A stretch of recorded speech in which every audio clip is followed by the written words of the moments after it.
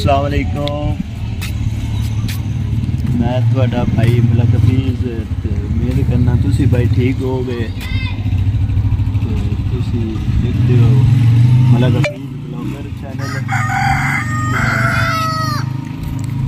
ਅੱਜ ਆਪਣੇ ਦੋਸਤਾਂ ਨੂੰ ਮਸਜਿਦ ਪਾਕ 117 ਨਾਮ ਦੀ ਜਾਮੀ ਮਸਜਿਦ ਆਵਾਂਗੇ ਭਾਈ ਹੋਰ ਤੇ ਸਾਡੇ ਨਾਲ ਆ ਰਿਹਾ ਜੀ ਇਨਸ਼ਾਅੱਲਾ ਵੇਖੇ ਜੀ ਮਸਜਿਦ ਪਾਕ ਦਾ ਸਾਡਾ करना है इनशाला सारी साहब चलिए जी? ठीक। आख तो तुम रहे हो जामिया मस्जिद का जरा है बैरूनी मंजर।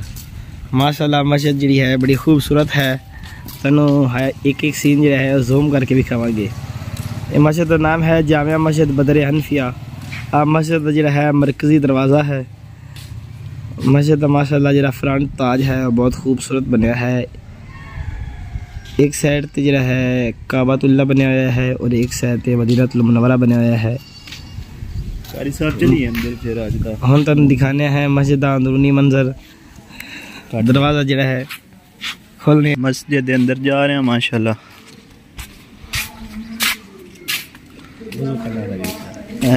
साढ़ा वज़ू खाना वाशरूम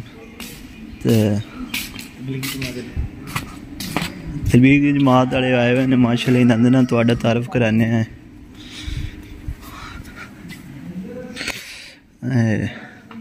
अंदर मस्जिद पाक माशाला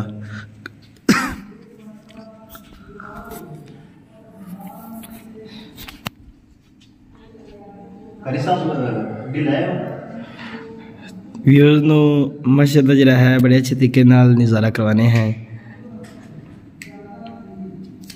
आ, मस्जिद जरा है अंदरूनी फ्रंट ताज माशाल्लाह मिम्बर है।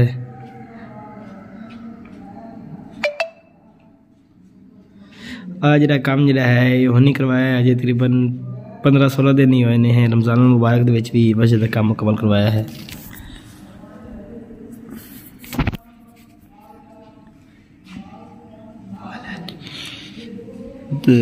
ਭਾਈਜਾਨ ਬਹੁਤ ਹੀ ਪਿਆਰਾ ਕੰਮ ਹੋਇਆ ਹੋਇਆ ਹੈ ਮਸਜਿਦ ਪਾਕ ਦਾ ਮਾਸ਼ਾਅੱਲਾ ਤੇ ਇਹ ਇਹ ਕਰੀ ਸਾਹਿਬ ਇਹ ਰਮਜ਼ਾਨ ਸ਼ਰੀਫ ਦੇ ਪੰਜ ਸੱਤ ਰੋਜ਼ਾਂ ਨੂੰ ਕੰਮ ਸ਼ੁਰੂ ਹੋਇਆ ਸੀ ਮਾਸ਼ਾਅੱਲਾ ਦੋ ਤਿੰਨ ਦਿਨਾਂ ਤੱਕ ਹੋ ਗਿਆ ਮਾਸ਼ਾਅੱਲਾ ਕੰਮ ਬਹੁਤ ਹੀ ਪਿਆਰੀ ਮਸਜਿਦ ਪਾਕ ਬਣਾਈ ਹੋਈ ਹੈ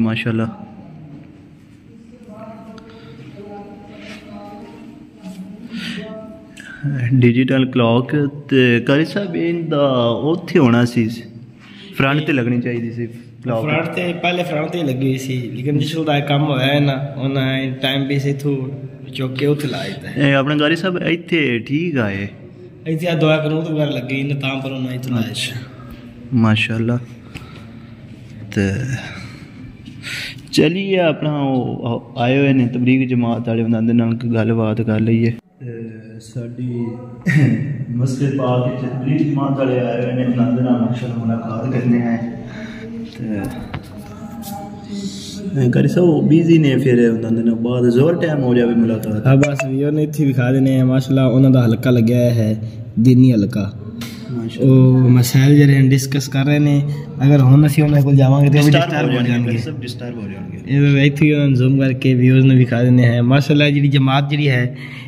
ਇਹ ਪਹਿਲੇ ਜਿਹੜੀ ਜਮਾਤਾਂ ਆਉਂਦੀਆਂ ਸਨ ਉਹ ਕੋਈ ਮਰਦਾਨ ਵਿੱਚੋਂ ਕੋਈ ਕੋਹਾਟ ਵਿੱਚੋਂ ਕੋਈ ਗਿਲਗਤ ਬਲਤਿਸਤਾਨ ਵਿੱਚੋਂ ਕੋਈ ਸੂਬਾ ਸਰਹਦ ਵਿੱਚੋਂ ਪਠਾਨ ਵਗੈਰਾ ਆਉਂਦੇ ਸੀ ਇਹ ਆਪਣੀ ਮੁਕਾਮੀ ਲੇਕ- ਜਮਾਤ ਹੈ ਕਾਰੀ ਸਾਹਿਬ। ਲੇਕਿਨ ਇਹ ਜਿਹੜੀ ਜਮਾਤ ਹੈ ਸਾਡੇ ਨਾਲ ਹੀ ਇੱਕ ਪਿੰਡ ਹੈ 116 ਨਾਈਨਲ ਇਹ ਉੱਥੋਂ ਹੀ ਮਾਸ਼ਾਅੱਲਾ ਜਮਾਤ ਆਈ ਹੈ ਤੇ ਕੁਝ 18 ਨਾਲ ਦੇ ਹੀ ਹਨ शामिल ने एक दोस्त ਹਾਂ।